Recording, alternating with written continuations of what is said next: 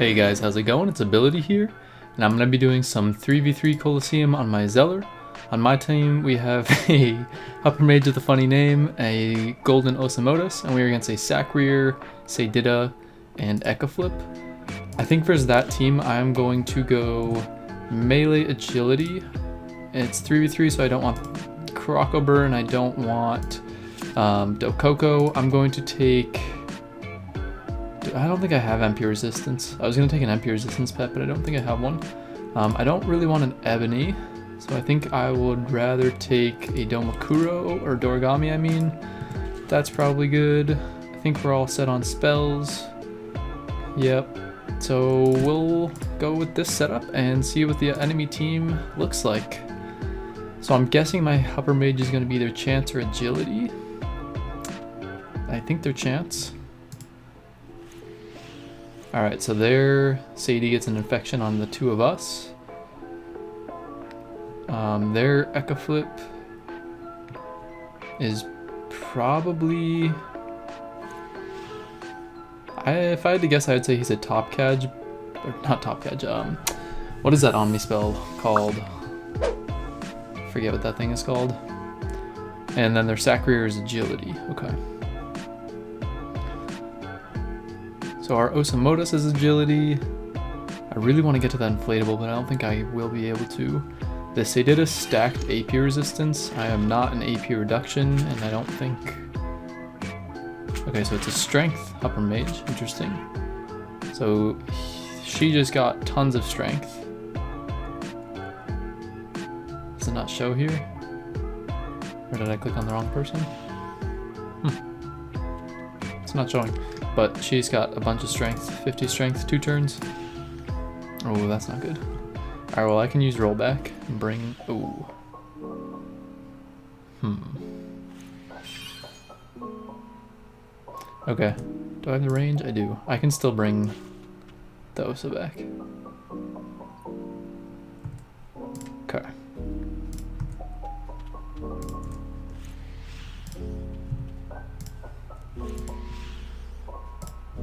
This, this, and run this way. Okay, so I brought the Osamodas back, didn't really do anything else. They're engaging on us super hard. I definitely should have killed that tree, but our Osa can kill the tree.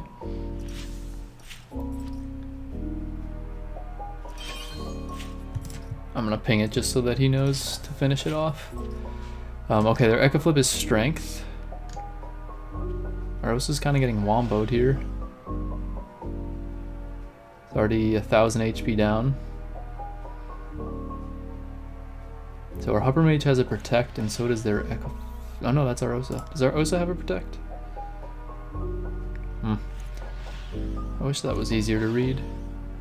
They have a Dorigami. Alright, so the Upper Mage was given AP. 34% Agi res, 31%, 37. Wow, they're all pretty resistant to me. Are we going for the Sadie here? Okay.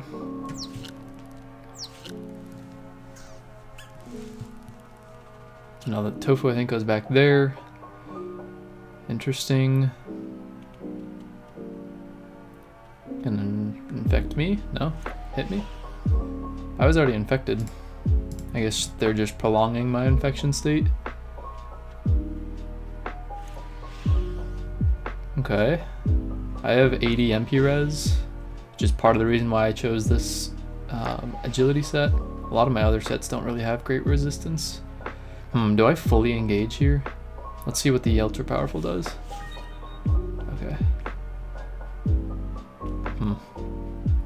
Hopefully the Hupper Mage can deal some damage to that so I can kill it for like 2 AP. That would be nice. Otherwise, I'm not sure I'm going to be able to kill it.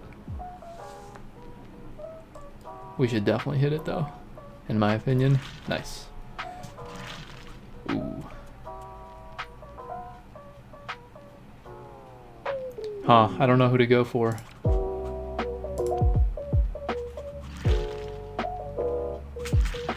Why did they just striking meteor or the tofu? I think misclicked.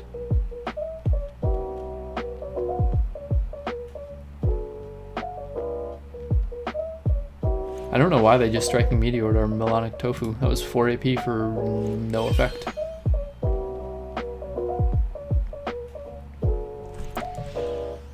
Hmm. I have to make a choice on what to do here. Alright, well, I can no longer go for this Acreer. I think I have to go for the Sadie. Pretty sure I do. Come on, crit. No. Shoot. Alright, well, I'll use Frostbite. I will use Mummification. And this. And this. And this. And this. Okay. Hey guys, this is ability in post-production. I realized that I could have had a more efficient turn here. If I had reordered my spells, I wouldn't have had to use Frostbite to kill the ultra powerful. And the way that that would have worked is if I used Mummification before I used Shriveling, Shriveling would have done more damage because it does more damage to targets in the Telefrag state, so then I wouldn't have had to use Frostbite on the ultra powerful, and I would have had 2 extra AP to use while comboing the Sadida. So I kind of left my team over there. Oh, that was a lineup for Misadventure. Our Hover Mage really misplayed with that Striking Meteor. Not sure why they did that, but hopefully it doesn't cost us the match. Um, I think we're losing at this point. We're not focusing one target, like the upper Mage is playing Runic Overcharge, which is why they have so many different runes on the field. However, they didn't have an effective turn last turn, so I don't think they're going to be able to keep these runes. I think they're going to fade away. I don't even know if the Osa can really get to the Sadie over here.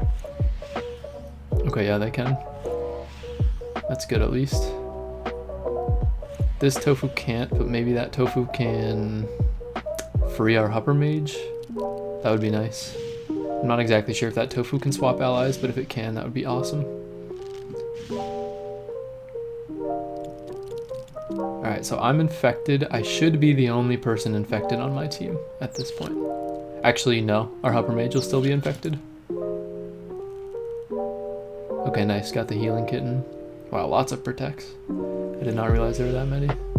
Alright, so my accomplice will be infected and our Osa will be infected. Okay, so Ebony went on Hupper Mage, I believe. Yes. That's actually bad. I wish the Ebony went on me.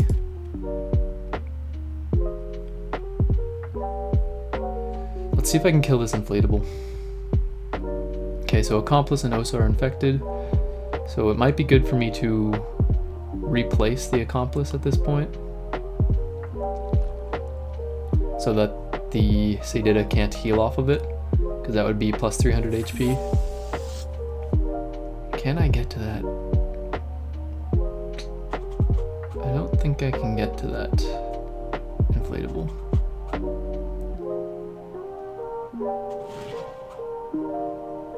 Alright, I think this is going to be a Runic Overcharge. Yep. Alright, I can kill this 80. I don't have to worry about replacing the Accomplice if I don't want to either.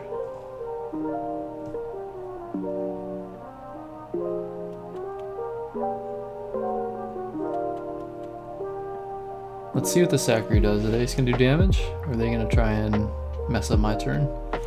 Because as it is, the Sadie will die. I don't think they're trying to mess it up. Okay. So what I'm gonna do here is do this. Pendulum. Hit them both. Teleport. Frostbite. I'm going to hide my Hupper Mage. and block line of sight. Okay, so their Ecaflip should have a harder time reaching our Hupper Mage now, hopefully. Oh, okay, they're just gonna use Claw of Sangul or whatever it's called. Potentially. this synchro was, I should have placed it at the start of the turn, but it was just to block line of sight so that they couldn't get to the Hupper Mages easily. Too bad I created a giant AoE. Does the Hupper get a turn? No. Oh my god, they do. But they have... Did Ebony go away? Ebony went away because we killed the... Oh wow, our Hupper gets another turn. That's huge. That's so nice. So part of the reason that we were able to kill the Sadida is because I got some shield from killing the summon so they couldn't heal as much off of me. Um, because you can't heal off of someone who has shield points, the lifesteal doesn't work. Nice. So the Hupper's getting a little bit healthier. The Sacrier is definitely going to kill them. However, I'm locking the Sacrier. So they're going to have to struggle a little bit to do that.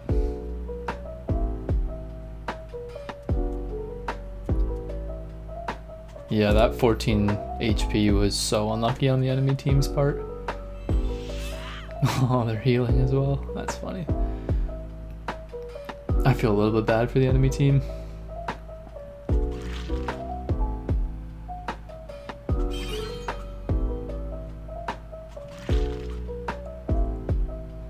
Okay, so let's see what the Sacrier does. I'm assuming he's just gonna release me.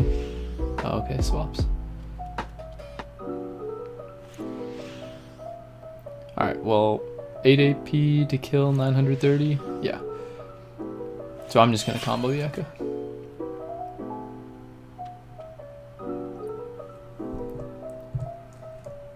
Or should I combo the Sacrier? No, I should combo the Ekka.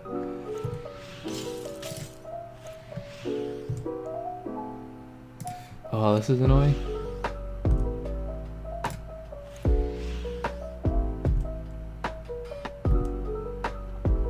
Hmm. Alright, well the Ekka goes next, so I would prefer to have them on top of me, so I will end with the Ekka here. Just to lock them. Oh, okay, they have Leap. Wow, Leap gives 40 dodge as well. It's actually really useful.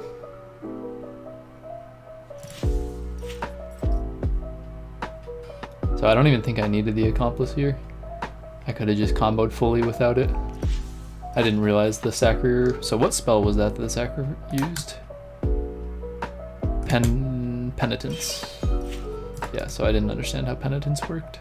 Alright, so they're hitting me now. I have 30% earth res and 30% air res, so they'll be able to do decent damage. However, I used counter on myself, so the Sacrier will struggle struggle to hit me without damaging himself.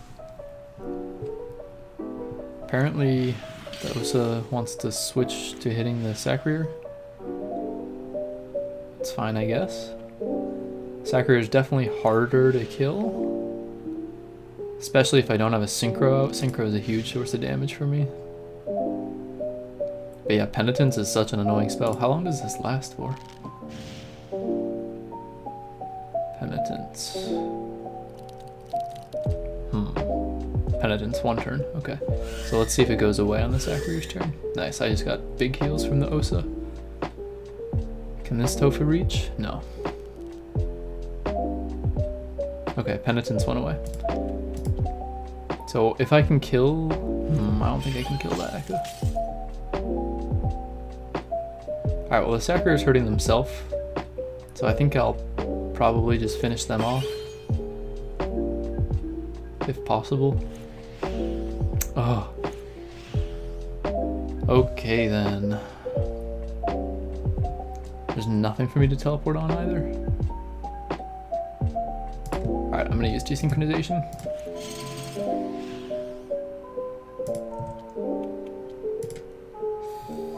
Uh...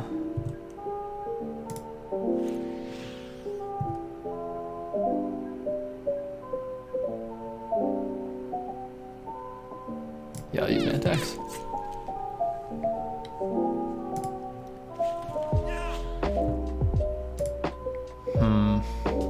I had nothing to telefrag with on that. His last position was over here rather than a walking cell because of penitence. So the Ekka's gonna run. Took 2 MP on 80 MP res. It's actually quite impressive. He's got luck now, so we'll go on the Sacrier.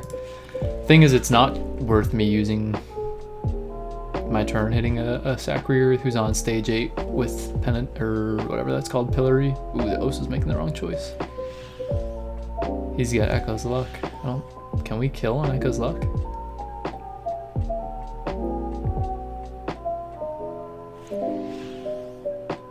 Yikes. I don't think we can kill him. Hmm, maybe I'm wrong.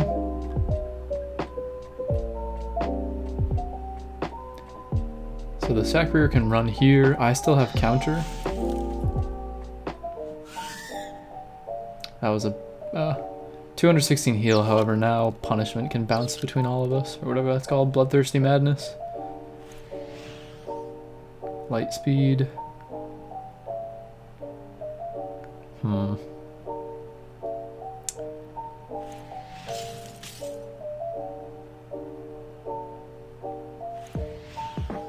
Wow, another minus 2 MP.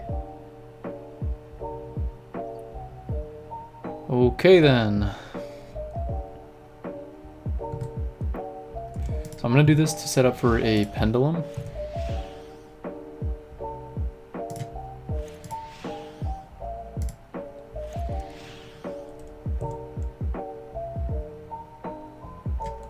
Let's get rid of this with a Xelor's Punch. And then we'll do this.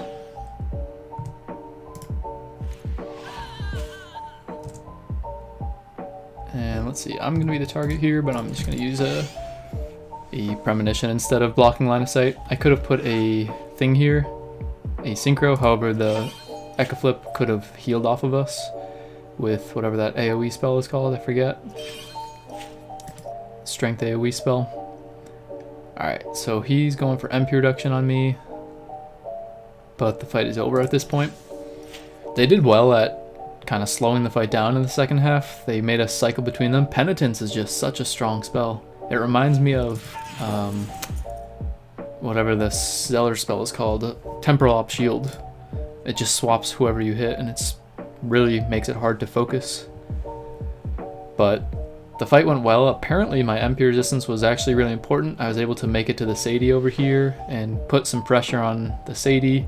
Osa played really well and uh, the Hupper Mage did a lot of damage and survived for longer than expected. So my team did really well. Their team also played well. They did well at rushing us. However, I think they might have spent too much AP pulling our team in and not using enough protection on the Sadida. Because the Sadida would have really been hard to deal with had they gotten another two turns just because of Harmony. It would have been impossible to kill them and they would have been reducing all of our MP and AP. So I think if they played more defensively and played more for their Sadida as their carry, they could have won that. But they played more just kind of jumping in and rushing us, which didn't work out so well. But that was the fight, and uh, I think I'm going to call it there since it was a 16 minute fight. So hope you guys enjoyed, and I'll see you in the next one.